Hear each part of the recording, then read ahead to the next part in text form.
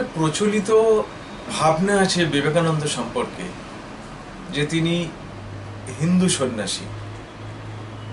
এটা এই ভাবনাটা তৈরি করেছে আমাদের পাশ্চাত্য দেশের মানুষ। কেননা যখন শিকাগোতে তিনি ভাষণ দিয়ে, বক্তৃতা দিয়ে তিনি যখন বিশ্ব বরেণ্য হলেন, তখন আমেরিকার বা ইউরোপের যে সমস্ত প্রেস খবরের কাগজে তার সম্পর্কে যে খবর হচ্ছে এখানে হেডলাইনগুলো ওইভাবে থাকতো, দ্য হিন্দু মঙ্ক। ঠিক আছে, তিনি হিন্দু ধর্ম এবং ভারতবর্ষের সংস্কৃতি, ইতিহাসকেই তিনি চর্চা করেছেন এবং দেশ বিদেশে তার ভাবনাকে বলেছেন। কিন্তু হিন্দু সন্ন্যাসী হওয়া সত্ত্বেও, তিনি যে আদর্শকে নিয়ে চলতেন অন্য ধর্মের মানুষের বা অন্য ধর্মের প্রতি তার ছিল যথেষ্ট শ্রদ্ধা।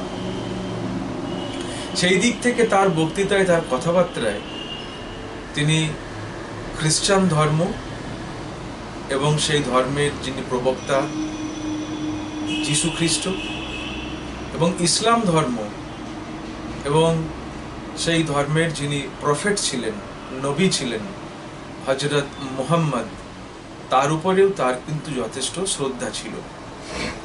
কেননা একটা বক্তৃতায় আমরা দেখেছি, তিনি যিশুকেও যেমন সম্মান করেন, তার প্রতি তার ভক্তি এবং শ্রদ্ধা জ্ঞাপন করছেন।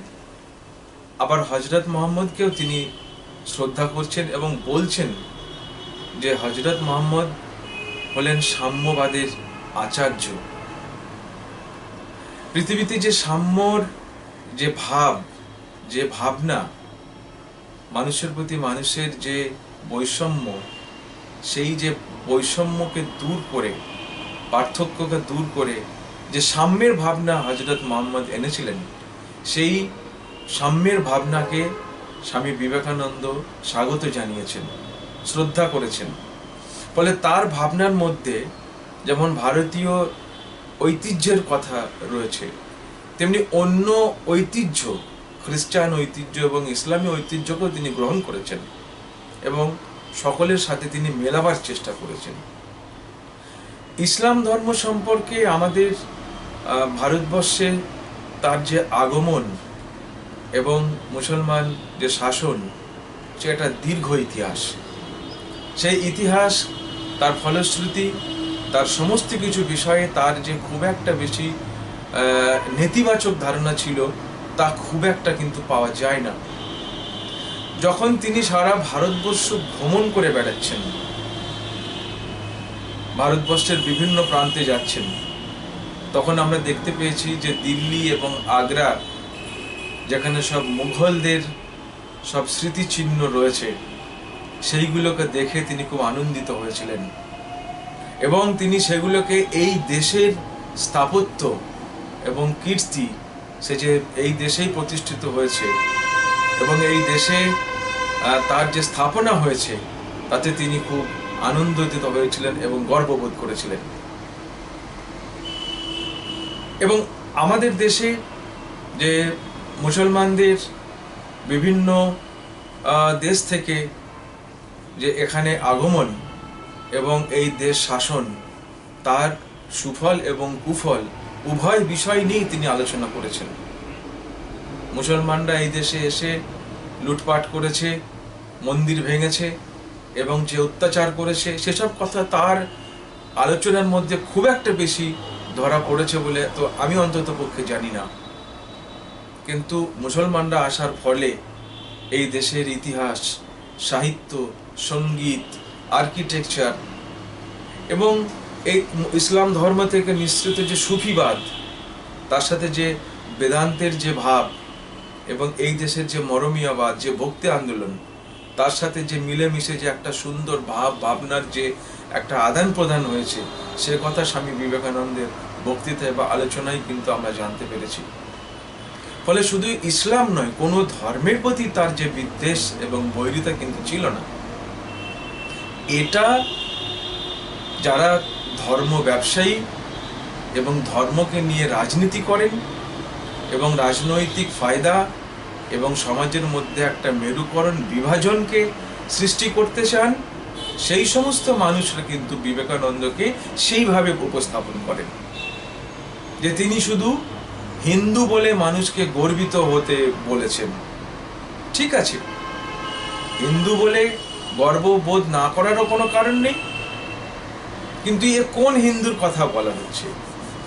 যে হিন্দু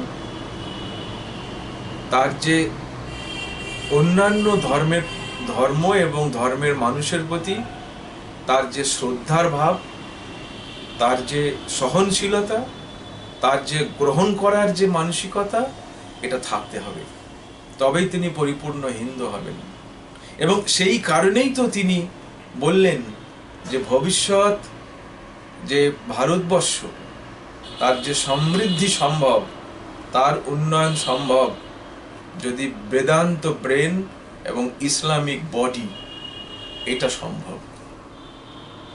ওই চিঠির মধ্যে যে চিঠি তিনি সরফরাজ হোসেনকে লিখেছিলেন, সেখানে বলছেন যে, আমরা সমাজকে এমন একটা জায়গায় নিয়ে যাব, যেখানে বেদান্ত থাকবে না, যেখানে বাইবেল থাকবে না, যেখানে কোরআন থাকবে না।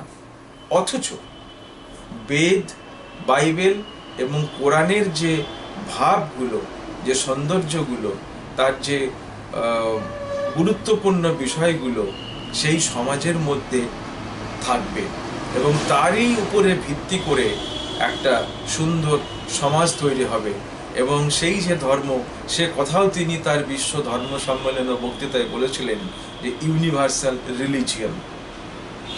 ফলে ইসলাম ধর্ম সম্পর্কে তার কোনো নেগেটিভ এবং তার কোনো নেতিবাচক কথাবার্তা এবং ভারতবর্ষের মুসলমানদের সম্পর্কে তার অসহযোগিতা এবং কোনো বিদ্বেষ ভাব দেখিনি এবং সেই অর্থে আমি এটা বলতে পারি, নিঃসন্দেহে বল- বলতে পারি যে ইসলাম ধর্মকে তিনি শ্রদ্ধা করতেন। তিনি ইসলাম দরদি যে ছিলেন, সে কথাও বলা যায়। ফলে স্বামী বিবেকানন্দ সম্পর্কে এত সংকীর্ণ, এত ছোট কথাবার্তা আমাদের মনে হয় না বললে, যদি না বলা হয় সব থেকে ভালো। আর বললে তাকে ছোট করা হয় না, যিনি বলেন তাকে নিজেকে ছোট করা হয়। তাই বিবেকানন্দ খুব বিরাট মন, বিরাট হৃদয়ের মানুষ ছিলেন। তিনি কাউকে ছোট, কাউকে বড় না, সকলকে সমানভাবে তিনি দৃষ্টিকোণ দিয়ে দেখেছেন।